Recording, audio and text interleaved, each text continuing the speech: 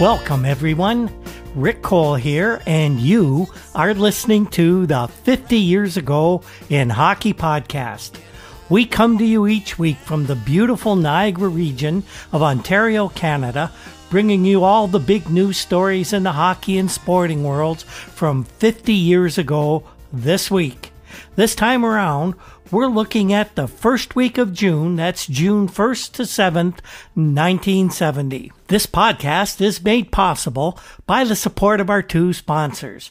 Newspapers.com, the world's largest online newspaper archive, is uh, helping us uh, so much with our research, providing us access to all the newspapers in hockey land in the 1970s.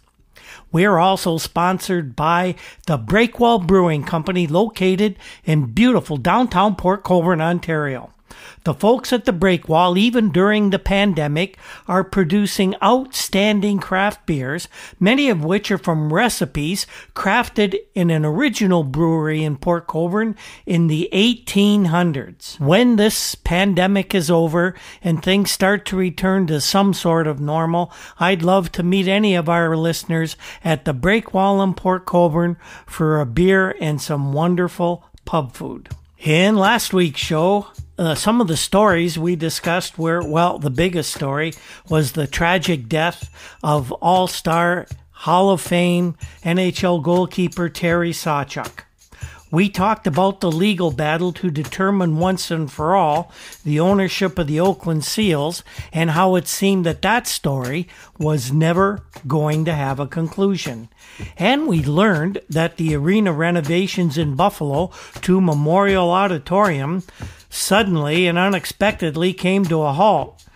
But everything seemed okay to the new Buffalo Sabres, and the reason for the stoppage was something that actually was quite routine. This time around, as we get into the week before the NHL summer meetings, which are uh, really scheduled to be something uh, historic for the league with the expansion to Buffalo and Vancouver, we have a lot of off-season news to talk about.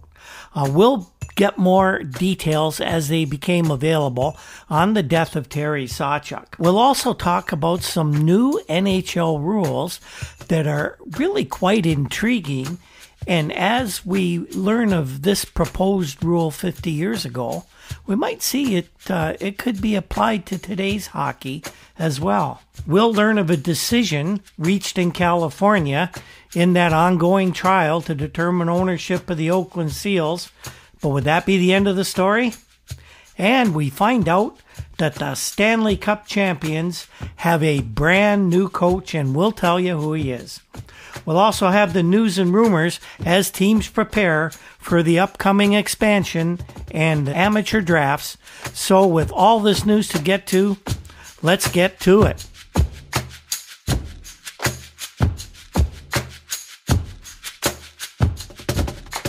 First of all, this week, uh, I, I don't like to delve into the real world that often because I, I view our project here as something of an escape for all the negativity and the bad stuff that's going on in the world today. Uh, this is a diversion that I enjoy to do. Uh, real life this year entails far too much that uh, we don't want to deal with. I, myself are finding it particularly difficult to start, start writing the scripts this week with all the things going on uh, in our world and in the United States in particular. Uh, many of you may know uh, I was a uh, police officer. That was my uh, career for the biggest part of my working life. Uh, but during that career, I took it upon myself to get educated in the area of anti racism. I did this in the 1990s, and I studied and gained experience to the extent that I have been qualified as an expert witness in the, the field of anti racism and several other areas as well by the Superior Court of Ontario. I've maintained a strong interest in these issues ever since, and I try to stand up for what's right whenever I can when I see something going on that's not right. So, what's happening now with Minneapolis and other cities burning as I record this, uh, TV uh, reporters of color being arrested right in the middle of broadcasting a story while their white counterparts go free at the same scene. This is all very troubling to me. I guess what I'm trying to say is that I truly hope that we can all come together someday as one race, the human race, and that the forces that are causing and promoting this division in our society can once and for all be eradicated. It isn't going to be easy. We all have to stand up for what is just and what is right. That's what I try to do every day, and I'm going to continue to do so. If you don't like this, tune out. I don't need you as a listener. I don't do this for profit. I do this for fun. Uh, it's not fun what's going on in the world today, and I'm going to try and make it more fun for myself in any small way that I can.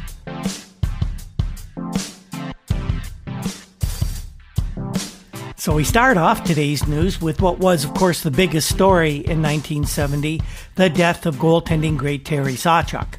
News of Terry's passing broke on Sunday afternoon and was still circulating around the hockey world on Monday as people woke up to the reports of Terry's demise. It seemed everyone had questions about how and why this tragedy could have happened at all.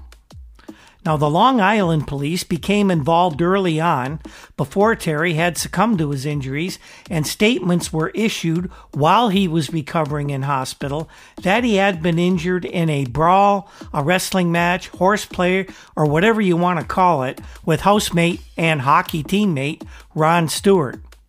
Of course, that is just a superficial accounting of the facts. The full scale investigation by Nassau County Police began on Monday, June 1st. The first statement of any real consequence was issued by the city deputy chief medical examiner, sorry, uh, Dr. Elliot Gross, who said that the autopsy performed on Terry Sawchuk's body disclosed that he had received a quote blunt force injury it also revealed that Sawchuk had received a laceration of the liver. This one was in addition to the previously known damage to his gallbladder, which had necessitated in its removal. Dr. Gross said that the immediate cause of death was blood clots to both lungs. Detective Sergeant Matthew Bonora of the Nassau Police Homicide Squad said that his men had questioned several witnesses and he confirmed that Ron Stewart, who was at this point back home in uh, Barrie, Ontario, where he lives uh, during the off season, Ron would be asked to come back to New York to give his version of the events that led to Terry's death. The police also confirmed that Sawchuk himself told them that he fell over Stewart's knee during what he described as horseplay. Terry was taken at his word, and the Long Island police, who initially began to investigate, considered the matter closed and never spoke to Ron Stewart. That all changed with the announcement of Sawchuk's passing. Detective Bonora said that after he had gathered all available evidence, that evidence will be turned over to a Nassau District Attorney William Kahn, K A H N, who would make the decision on whether to refer it to a grand jury. According to a report from United Press International, a New York medical examiner who is not named in their story said that Sawchuk succumbed to a pulmonary embolism after he was transferred to New York Hospital and described the death as, quote, other than natural.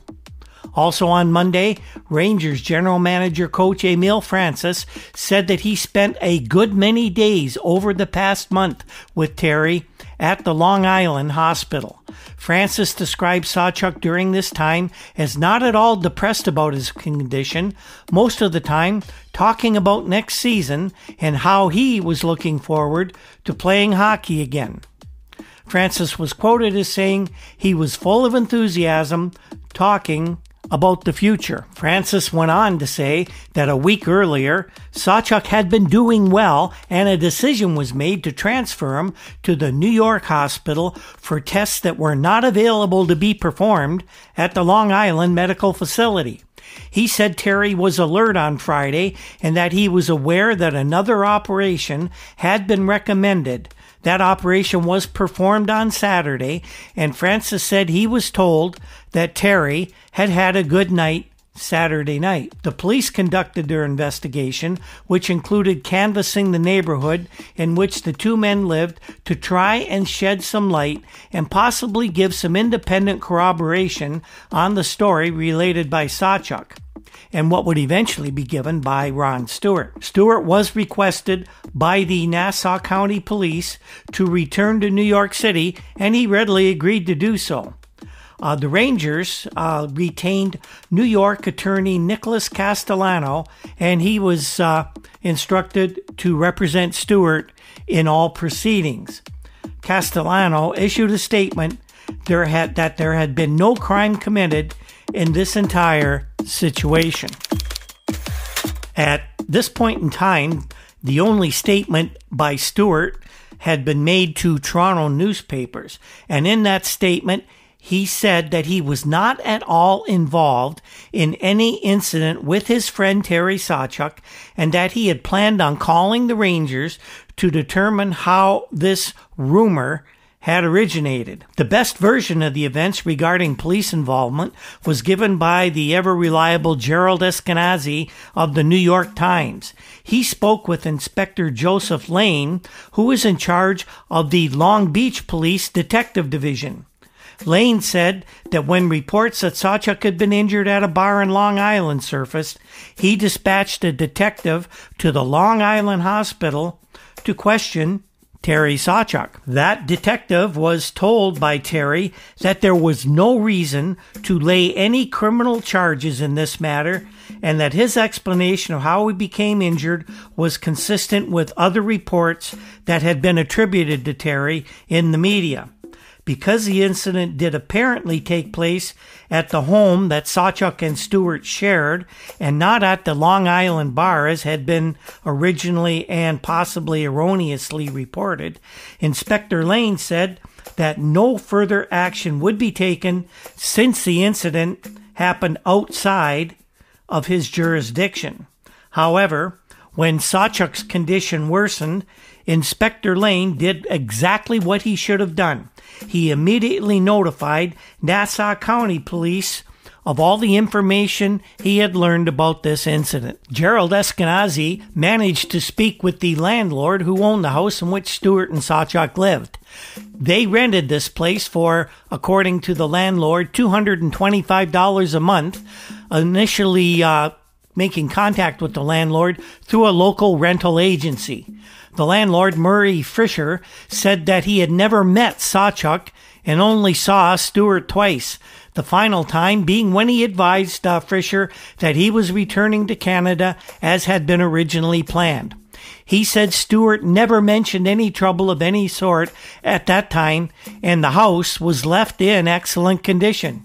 Stewart had even asked Fisher about renting that same house the next hockey season. On Tuesday, the decision was made to convene a grand jury to decide whether a crime had been committed in relation to the death of Terry Sawchuk. The jury would begin next the next Monday and likely would finish hearing evidence by the end of that week.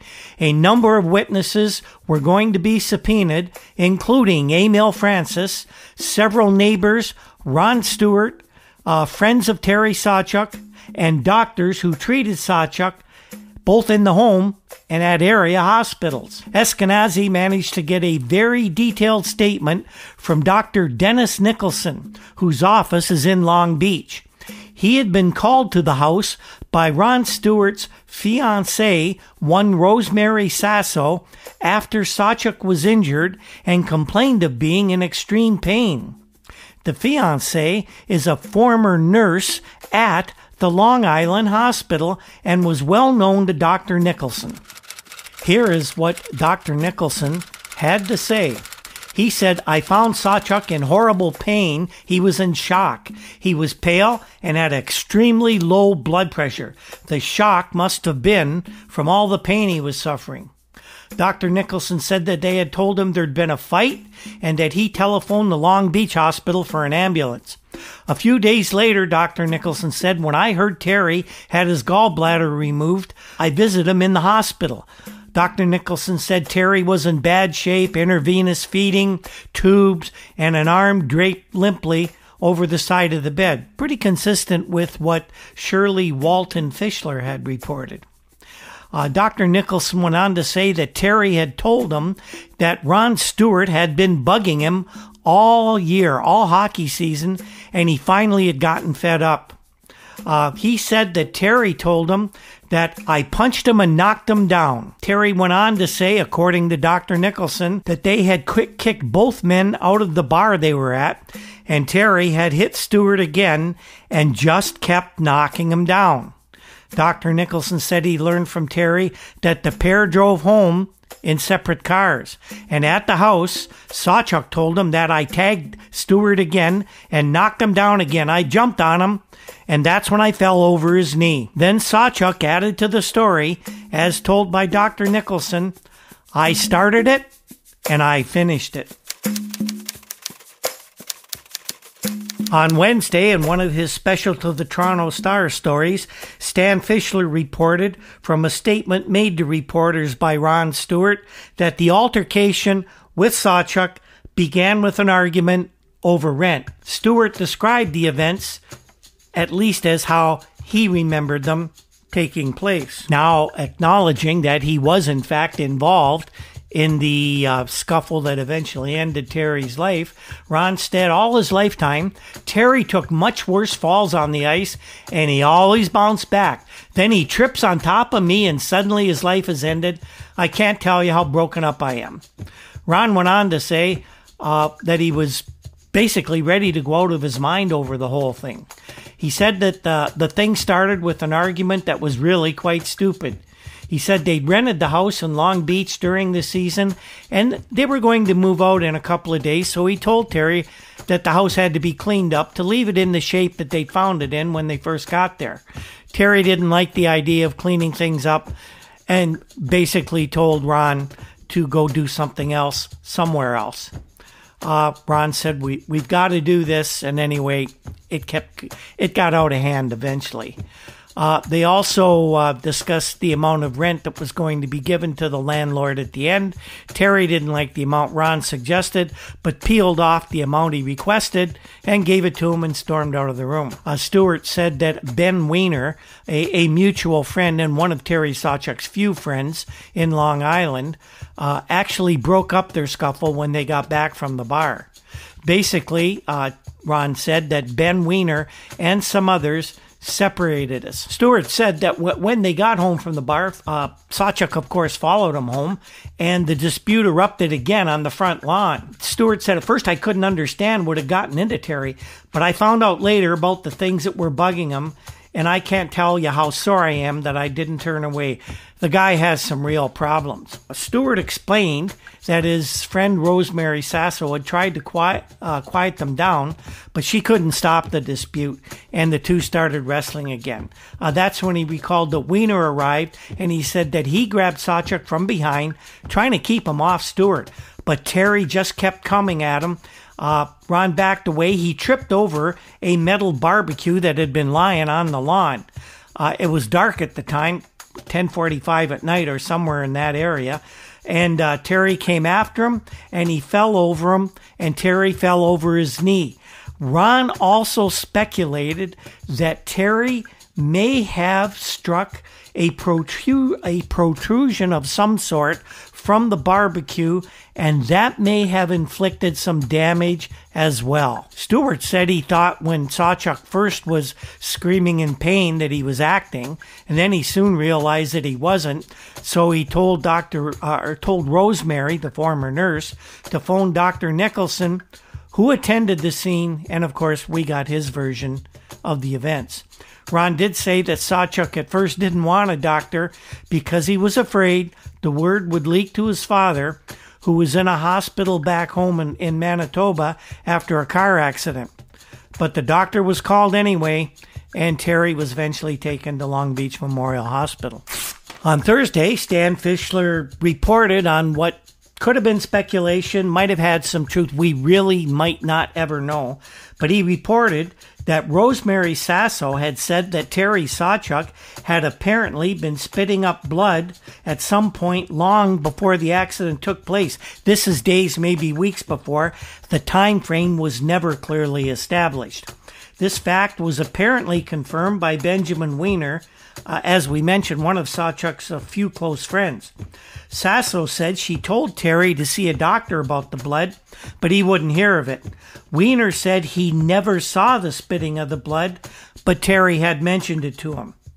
There is no official mention of any prior condition that might have contributed to Sawchuk's death at this point in time.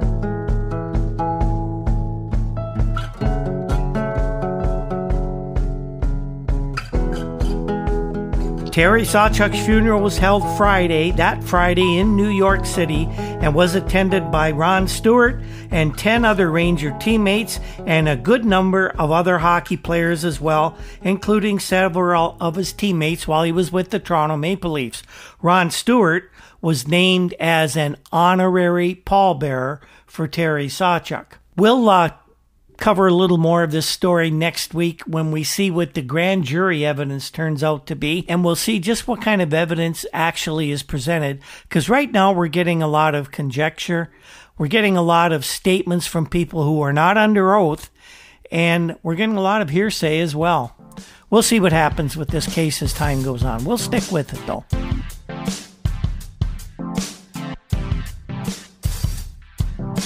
Well, now let's uh, talk about what we're really all here for, and that's the hockey news this week as teams prepared for next week's NHL meetings in Montreal.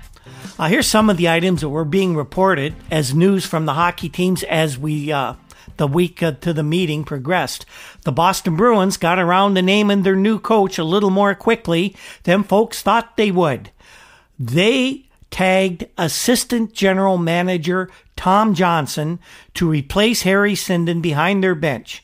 Now, Tom Johnson spent most of his playing career, a Hall of Fame playing career, by the way, with Montreal Canadiens before finishing up with the Bruins. Tom was famous in his Montreal days as being the defense partner with Doug Harvey. Tom, after his playing days, he ended up with the Bruins. Uh, he moved into the Boston front office as assistant general manager, and he'd been there ever since. Tom takes over coaching the Stanley Cup champions with zero years of coaching experience. There was a ton of speculation about the Minnesota North Stars coaching situation. Uh, they announced that incumbent Charlie Burns, who finished the season as player coach, would not be protected in next week's uh, Buffalo Vancouver expansion draft. Burns uh, demonstrated during the end of last season. He's still a quality NHL player. And so this means that one of Buffalo or Vancouver could draft Charlie to play for them. And that making the, uh, make coaching the North Stars just a bit difficult. By the end of the week, General Manager Wren Blair announced that Burns indeed would not return as coach, but the team would bring him back as a player if he was still their property. Blair said that a new man would be named at the meetings in Montreal next week. Lots of speculation right away on who it might be. One name that immediately popped up was former Penguins coach Red Sullivan, and he immediately removed himself from the running. Another name making the rounds with different hockey writers was former Red Wings coach Bill Gadsby, but Bill has told people he thinks he's done with pro hockey. Wren Blair wouldn't confirm or deny any of the rumors, but he did say he had a man that was definite in his mind that he would name next week. Could that man be Harry Sinden? North Stars also announced that they have dropped their Central Hockey League farm team in Waterloo, Iowa. That team lost about $175,000 last year, no small amount for a minor league hockey operation. The Stars recently signed a new working agreement with the Cleveland Barons of the American Hockey League, and you can bet that's where most of Minnesota's minor league chattels are going to end up. Another National Hockey League coaching vacancy was filled this week and that was the announcement that Al Arbour would take over behind the bench of the St. Louis Blues, replacing Scotty Bowman, who wants to devote all of his efforts to his duties as general manager. Arbour has assured folks he will not be a playing coach. He signed a two year contract to strictly coach the team, and those teams were not announced. Al Arbour always struck me as a fellow who was fairly cerebral, somebody who probably after his playing days might just make a good coach. We'll have to see if Al takes to coaching as well as he took to blocking shots. The new Vancouver Canucks of the National Hockey League have made a very popular hire in the Canadian West Coast city. Signing on as assistant to the vice president of the Vancouver Canucks is Hall of Fame defenseman Walter Babe Pratt who makes his year round home now in Vancouver. He will basically be the assistant to the general manager. With Babe Pratt around the office, I can tell you this things will never be dull. The National Hockey League Rules Committee has been busy studying ways to improve the game, and they're going to make a few proposals at next week's NHL meetings. One idea is to increase monetary fines levied for misconduct, game misconduct, and match penalties. Basically, what the Rules Committee wants to do is double the amount of those fines in each case. And here's a rule we'd like to see in action, and we'll get to see that in the 1970-71 uh, preseason games, so we're told. It has to do with delay of game penalties, and here's what's going to happen. Instead of assessing a two-minute minor for delay a game when a player or goalie freezes the puck unnecessarily or intentionally shoots the puck out of the rink, the non-offending team will now be given a free face-off. Here's how it's going to work. Uh, the puck will be placed on a faceoff dot in a faceoff circle in the offending team's defensive zone. The non offending team will then have the opportunity to play the puck by way of a pass or skating the puck out of the circle without interference from the other team. The only restriction on the play is that the player who is ostensibly taking the faceoff may not shoot the puck directly on goal from within the circle. This rule is supposed to be given a try during the exhibition games this fall. Now, here I am sitting here 50 years later with people constantly complaining about the automatic puck over the glass rule, where if you shoot the puck over the glass in the defensive zone or from the defensive zone in the NHL in, 19, er, in 2020, you get an automatic minor penalty why not try the free face-off rule? It won't waste an entire two minutes. If it's uh, defended well, it's not going to be an onerous penalty like a full two minute power play is today. This has got to be better than the travesty we have now in the NHL, doesn't it? I hope an enterprising NHL governor who wants to add some excitement to the game can drum up support for this uh, suggestion if somebody does ever hear this suggestion. The Los Angeles Kings have announced that they have established a working agreement with the Denver Spurs of the Western Hockey League. The Kings will send at least four players to play for Denver next season. Here's a little sad news, although I'm kind of happy for the guy. A veteran National Hockey League referee has announced his retirement from officiating. If you remember, Vern missed a good part of last year's playoffs with what has been described as a gastritis attack, but at the time it was feared that he had suffered a pretty bad heart attack. Buffey says his illness has had no effect on his decision to retire. He's just worried about permanent injury with the speed and the roughness of the game today. Vern told reporters that he hopes to land the job somewhere in the hockey world. Here's a story that appeared in the Toronto Globe and Mail this week, and I'm happy to say I had some personal involvement. Uh, at a sports banquet in Dunnville on Wednesday evening, Toronto Maple Leafs general manager Jim Gregory and coach John McLellan confirmed that the team will be protecting newly acquired goalkeeper Jacques Plante. Now, I already knew about this story because uh, that athletic banquet at the Dunnville High School was my final one of my high school years, and I asked Jim that question during a question and answer period we had that night. I don't know how the Globe and Mail got the story. We didn't think any uh, reporters were present, and the byline on the story just said special to the Globe and Mail. I didn't see Stan Fischler there either. Now, if you're wondering why Jim Gregory, John McLellan might have been at uh, the Dunnville High School uh, athletic banquet, Jim is a graduate of Dunnville High School. Uh, he knew my, my mom and dad, and I got to know Jim quite well later on in life. But we did meet that night, and when I spoke to him many years later, he actually remembered it, and I was pretty happy about that.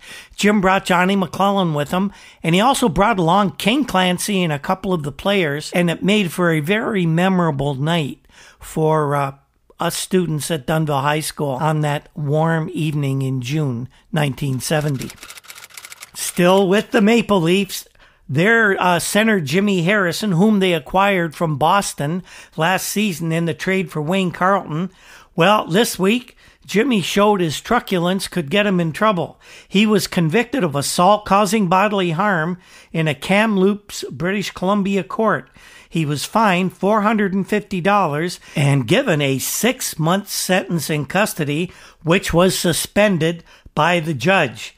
The charges arose from an incident in which Harrison assaulted a Kamloops man in a local bar this past May 13th. A report in uh, both Vancouver papers uh, this week uh, said that the method by which the first and second choices in the expansion and amateur drafts next week will be done by coin flips, two coin flips. A flip of a coin is going to determine who chooses first. Now, Vancouver general manager Bud Poile says that for each coin flip, he plans on flashing a $2 bill at Buffalo general manager Punch Imlach. Everyone knows just how superstitious Punch Imlach has been through his hockey career, probably his whole life.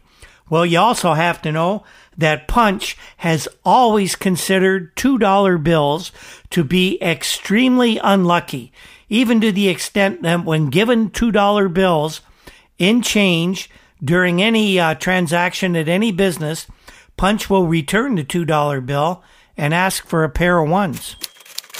Here's a scoop by Pat Curran of the Montreal Gazette this week as he announced that he had learned that Jean Beliveau will definitely be returning to Montreal Canadiens this fall, and what wonderful news that is. Curran's source with Beliveau away on a fishing trip in some remote northern Quebec uh, lake was unavailable for comment, so his source was none other then Mrs. Jean Beliveau. Habs general manager Sammy Pollock followed up on Curran's story by saying the Habs would certainly protect Beliveau in the expansion draft. Of course, you know that Punch Imlach, who has always been probably the biggest admirer of Big Jean that there ever was, he grabbed Beliveau in a heartbeat if he were to become available.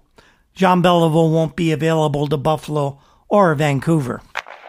Well, we couldn't let a podcast or a week of NHL news from 1970 go by without a dose of the Oakland Seals silliness. It's not hockey news; it's more business news.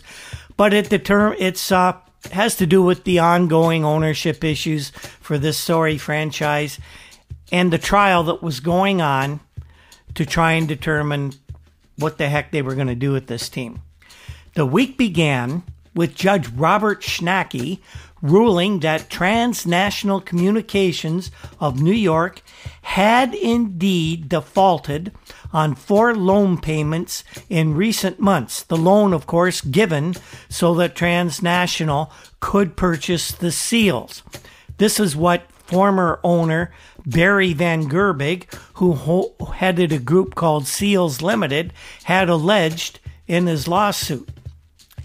These loans totaled over $1.6 million. That's 1.6 million 1970 dollars, boys and girls. The judge's ruling, in effect, transfers ownership of the seals back to the group that sold the team to TNC a couple of years ago. That didn't mean that this thing is anywhere near over, though. It gets complicated, of course. This is the seals. How can it not be complicated? The ruling by Judge Schnacke was made before final arguments were made in the case. And those final arguments were set back by the judge until June 9th. Now, why would anyone do this? The matter of who ultimately owns the team Seals Limited says it already has a deal in place to sell it, and what amount will be paid by any prospective buyer is yet to be determined at this point. On June 9th, after those final arguments are made by both sides, the judge is then going to rule whether an offer of $3.4 million by uh, Charles O. Finley, owner of baseball's Oakland Athletics, is commercially reasonable. In other words, the judge is going to determine whether the Seals will get fair value when they sell the team to Charlie O. Now, I know this is complicated. Stay with me here, and we'll try and uh, relate as the court uh, made its ruling on, on why they're doing what they're doing. During the trial, Seals' present president, William Creasy, a guy who never met a microphone he doesn't like, he testified that he felt the value of the team was $6 million, which was, of course, the fee charged by the NHL to new Vancouver and Buffalo teams. William felt that the SEALs, being an established operation, had to be worth at least that much. Now, of course, what happened was it was learned that the SEALs had virtually no money and they were losing upwards of half a million dollars just in their last season. So $6 million might seem a little high. Given the financial horror stories of the team's operation last year, the judge realizes that Creasy's estimate of the value might not be anywhere near correct. The judge also realized that Finley's offer is likely a lowball, which any savvy business operator would at least want to try. So here's what the judge has decided to do. Although Van Gerbig is going to be listed as the owner, he's given TNC, the Transnational Communications, until that hearing next week where final arguments to be held are to be uh, made. He's given TNC until June 9th to come up with a buyer that will be better than the offer Finley will make. And Finley's offer, by the way, suddenly went from 3.4 to 4.1 million within 24 hours. So Charlie knows that this judge has a good idea of how to determine value, so he upped his offer right away. So what happens now is the TNC folks can try and find a bidder who will give more value for the team than Charlie Finley does. This should be an interesting week as names surface, if any names surface. Now, where does this leave the SEALs hockey operations? Basically, the team right now is in limbo with no budget and absolutely no direction from a vacant top of the uh, organizational chart. The SEALs executive vice president, Bill Torrey, said that he still plans to attend the NHL meetings next week with general manager Frank Selke Jr. and coach Freddie Glover.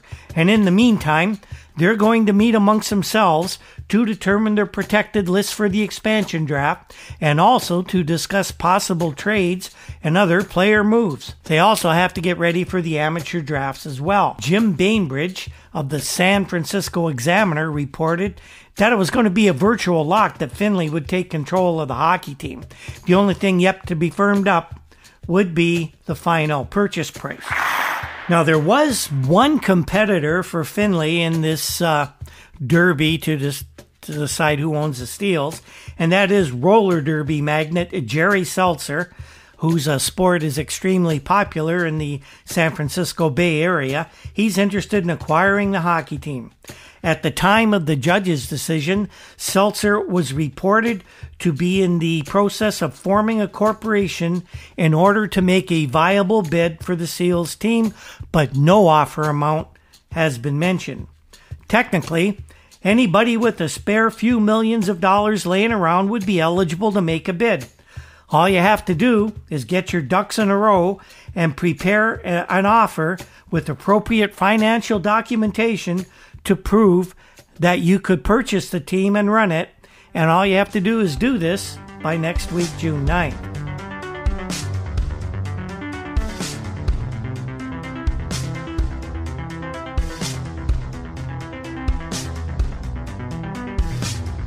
And that pretty well wraps up the hockey news for the first week of June 1970. And what did we learn this week? Well, we learned more about the circumstances surrounding the death of Terry Sawchuk, or did we really become more confused about the circumstances surrounding the death of Terry Sawchuk? We'll have to stay tuned for that. We found out the results of that California legal action to determine the ownership of the Oakland Seals, but we learned that this ain't the end of the story, not by a long shot.